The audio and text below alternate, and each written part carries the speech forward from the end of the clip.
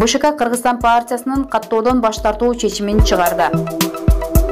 Канат исаев бшкнын документти албай койгону боюнча сотко кайрылабыз. Калдарбек абдыраманов кыргыз элин мал ойлошобу булар.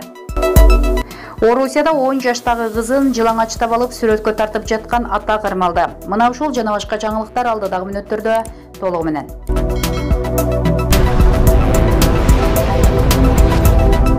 бшк кыргызстан партиясын шайлоого каттоодон баш тартты. Документти кыргызстандын ыйгарым укуктуу өкүлү эмес. Башка жаран алып келгендиктен мыйзамда көрсөтүлгөн нормалар сакталган эмес. Ушул жагдай негизги себеп болду.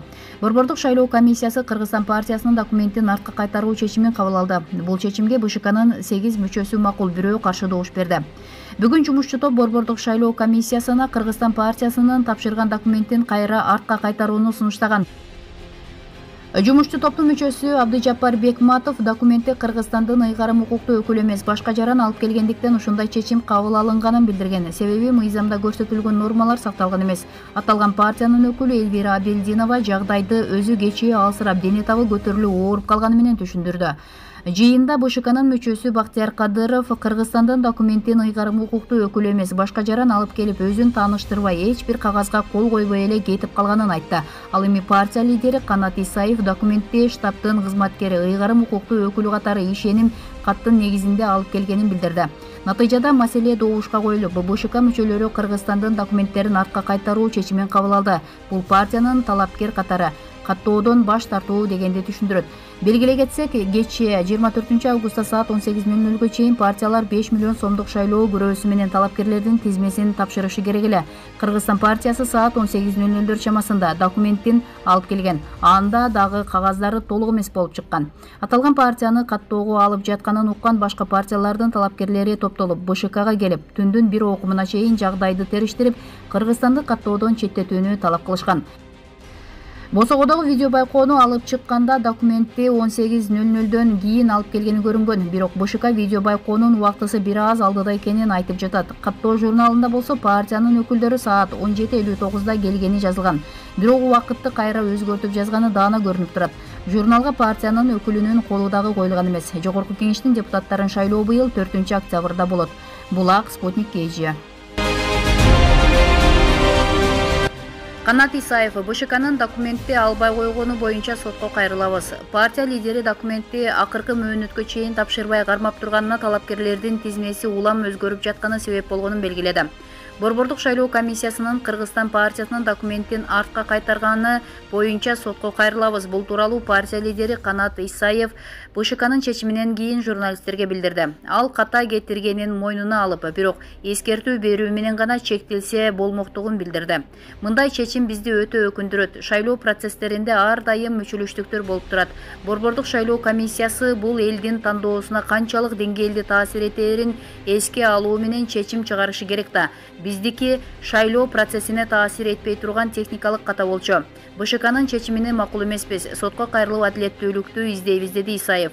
Ал эми документти акыркы мөөнөткө чейин кармап турганына талапкерлердин тизмеси улам өзгөрүп жатканы себеп болгонун белгиледи. Белгилей кетсек бүгүн бшк кыргызстан партиясынын документтерин артка кайтаруу чечимин чыгарды. Бул талапкер катары кабыл алуудан баш тартты дегенди түшүндүрөт буга кечээ документти бшкга кыргызстандын ыйгарым укуктуу өкүлү эмес башка жаран алып келгени ал дагы толук эмес экени негиз болду. Буршайкомдун мүчөлөрү мыйзамда партиянын ыйгарым укуктуу өкүлү өзү алып келип каттоо журналына кол коюшу керектигин белгилейт. Ал эми аталган партиянын өкүлү элвира абелдинова жагдайды өзү кечээ алсырап эти ысып ооруп калганы менен түшүндүрдү. Эске сала кетсек кечээ жыйырма төртүнчү августта саат он сегиз нөл нөлдө партиялар беш миллион сомдук шайлоо күрөөсү менен талапкерлердин тизмесин тапшыруу мөөнөтү бүткөн. Кыргызстан партиясы саат он сегиз нөл нөлдөр чамасында.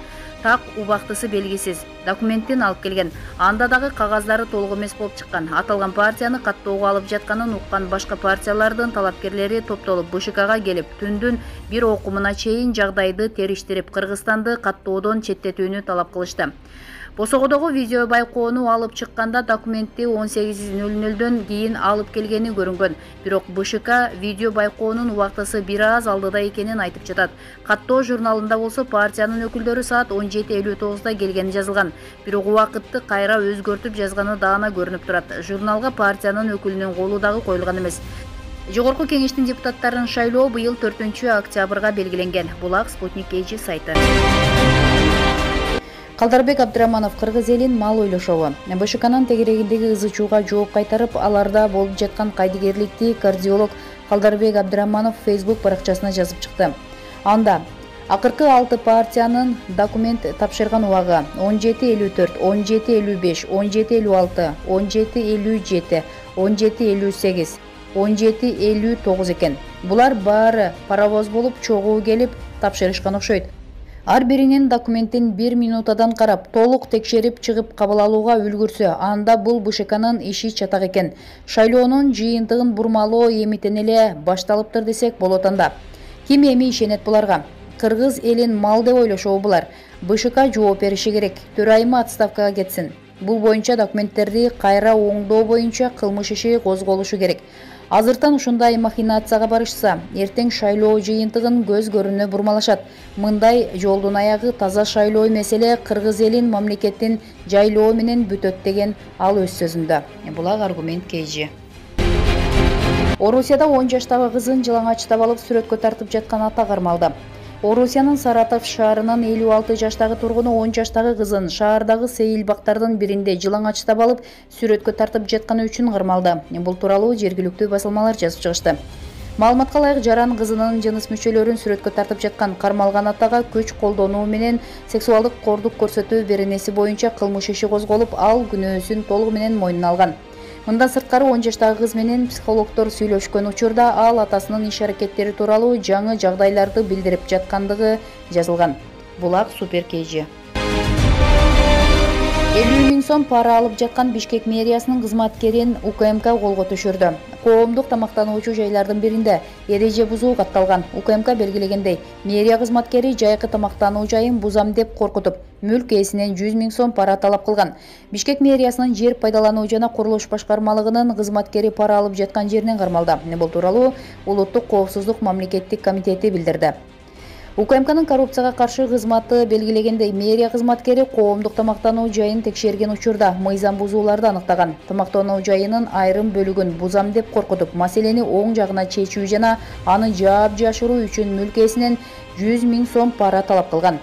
Мэрия кызматкери ошондой эле алардын кыңыр иштерин калкалоону убадалап ал үчүн туруктуу сыйакы сураганын укмк белгилейт жыйырма бешинчи августта укмкнын ыкчам тергөө иштеринин жүрүшүндө элүү миң сом пара алып жаткан жеринен бишкек мэриясынын жер пайдалануу жана курулуш башкармалыгынын кызматкери кармалды деп айтылат билдирүүдө. Сотко чейин өндүрүштүн материалдары кылмыш жана жоруктардын бирдиктүү реестине пара талап кылуу беренеси менен катталган. Шектүү укмкнын убактылуу кармоо жайына киргизилди. Бул ак спутник kg жакында баары ачыкка чыгат эки жол тескөөчүнүн мушташы он тогузунчу августта ош шаарында жол коопсуздук кызматынын кызматкерлеринин ортосунда чыр чыгып ош шаардык ички иштер башкармалыгына экөө тең арыз менен кайрылган аталган эки кызматкер окуя кандайча болгонун жана чыр эмнеден келип чыкканын айтып беришти. Мушташкан кызматкерлердин бири манасбек полотов тилек моңолбаевга таажы илдети менен ооруп жатып эмне үчүн жумушка келип жатасыз деп айткан сөзү үчүн таяк жегенин билдирди. Он тогузунчу август күнү жумуштан түштөнүүгө чыгып бара жаткам жумуштун дарбазасын тосуп лексус төрт жүз жетимиш үлгүсүндөгү токтоп туруптур ал тилек моңолбаевдин унаасы экен аны чакырып жолдон унааңызды алып коюңузчу десем мен таажы илдети болуп ооругам каалаганымды кылам колуңдан эмне келет деп кыйкырды таажы илдети жугузган болсоңуз эмнеге элге аралашып жүрөсүз? Изоляцияда жатсаңыз болом. Эмнеге жумушка келип жатасыз десем ачууланып кетип мени сабап салды. Мен аны ууруган жокмун. Ооруканага жатып алып ош шаардык ички иштер бөлүмүнө арыз да жазыптыр. Буга чейин тилек моңолбаевден таажы илдети аныкталганын билчүмүн. Ага карабай жумушка келип жүрөт. Жыйырма биринчи августта сынакка да барып катышыптыр. Буга чейин сынактан өтпөй калып бири бирин сабады деп айтылган сөз чындыкка дал келбейт деди манасбек болотов тилек моңолбаев кесиптеши полотовдун мени сабап салды деген сөзү чындыкка дал келбей турганын айтты. Ошондой эле окуя такыр башкача болгонун тергөөнүн жыйынтыгы менен чындыктын баары ачыкка чыга турганын билдирди. Алдыда тергөөнүн жыйынтыгы чыгат. Окуя боюнча видео бар. Бул боюнча мыйзам чегинде чара көрүлөт. Мен аны сабаган эмесмин буюрса жакында баары ачык айкын болот. Мени ууруганы үчүн мен ош шаардык клиникалык ооруканасында сынык жаракат бөлүмүндө дарыланып жатам. Мен бул окуя боюнча бир нерсе деп айта албайм биздин кызматтын басма сөз катчысынан толук маалымат алсаңыздар болот деди тилек моңолбаев ош шаардык клиникалык ооруканасынын нейрохирургия бөлүмүнүн башкы дарыгери курсантбек калыевдин айтымында тилек моңолбаевга баштын жабык жаракаты мээнин чайкалуусу деген диагноз коюлган моңолбаев он тогузунчу августта кесиптеши менен мушташып анын кесепетинин башынан жаракат алып бизге келип жаткан таажы илдетинин белгилери аныкталып же дене табы көтөрүлгөн жок бир жумадан бери нейрохирургия бөлүмүндө аныкталган негизинде дарыланууда деди дарыгер. Аталган окуя боюнча ош шаардык жол коопсуздук кызматынын басма сөз катчысы рашид сыдыков бүгүнкү күндө ички иштер министрлигинин ичкиликтөө кызматы тергөө иштерин жүргүзүп жатканын айтты. Булак турмуш kg